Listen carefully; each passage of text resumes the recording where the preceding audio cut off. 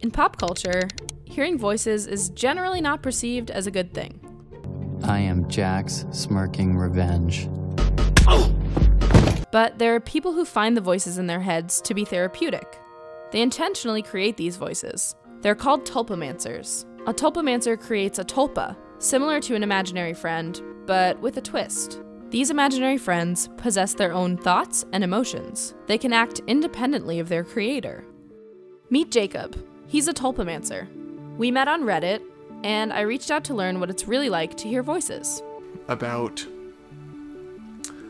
four and a half years ago, decided to, you could say, no longer be alone.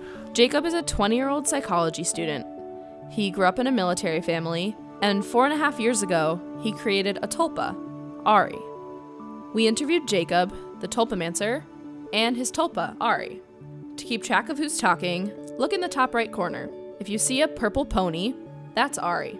Jacob and Ari are two people that live in the body that you're looking at right now. I am Ari, and I am a tulpa. I see myself as a bat pony, as a pony with bat wings and glowing golden eyes, and a greatcoat, and a midnight blue mane. So Jacob sees Ari as a pony. This is Dr. Samuel Veissière. He's the first person to ever conduct research on the Tulpa community. He has a theory about why Jacob sees Ari as a pony. Because there are more things that one can do with imagination, they also provide I don't want to call it an escape, but they provide provide an opportunity to engage in a richer fantasy world. This is why many tulpas have non-human forms, such as elves or ponies or, or sort of you know made up beings. Why would someone choose to create a tulpa and hear voices? I would move every other year, um, being raised in, in the military, and so I desperately needed someone who could stick with me. I think the purpose of the tulpa fits the completely normal human urge to connect with other people and to not be lonely and to be social. We are through and through evolutionarily we are social beings. Ari is able to possess the body and front, meaning she can control the body and speak for herself. Jacob and Ari have come up with two different methods for switching. There's a possession scene in the movie where someone who comes into the body grasps the hand of someone else and flips it. And when they flip it, the identity, the entity that wants to possess the body, flows into the body. And since seeing that, that's been a way that Ari and I have been able to quickly possess.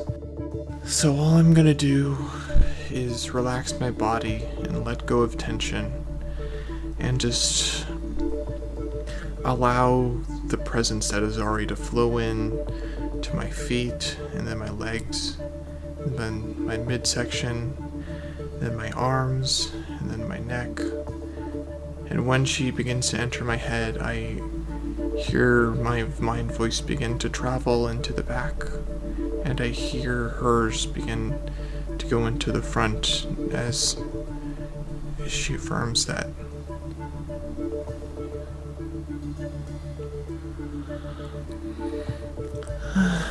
That I'm in front.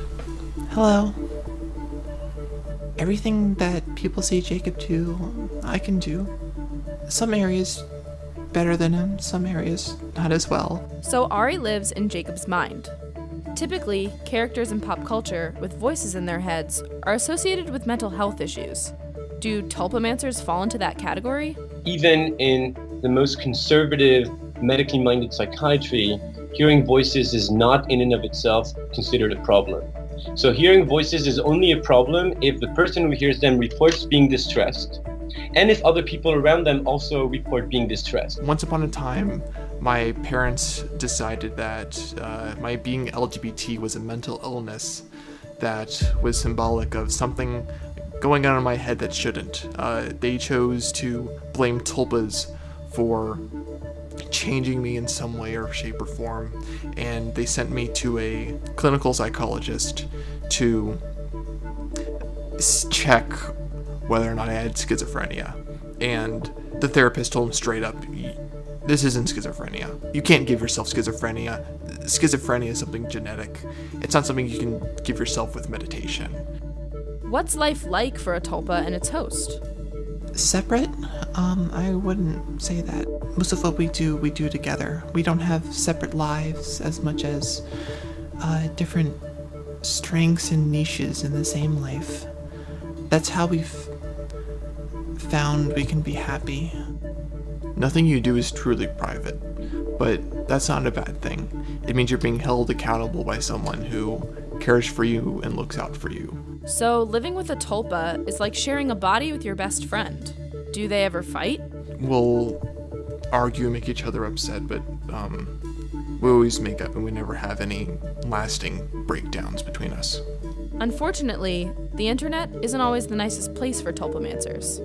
Tulpamancers suffer quite a bit of bullying. I, I, mean, I have read some very derogatory comments towards tulpamancers because they're, they're probably an easy target. They're, they're very sincere, they're enthusiastic about their practice, and they do something that is really radically different.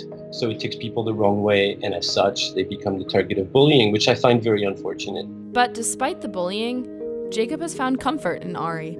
I like to think that I've made Jacob a better person. I think that with me around, she not only takes better care of herself, but better care of others.